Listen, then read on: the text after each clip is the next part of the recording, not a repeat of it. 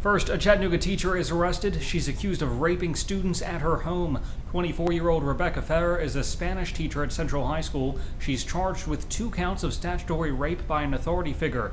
Authorities say the male victims are between the ages of 13 and 18. Feher's bond is listed at $40,000.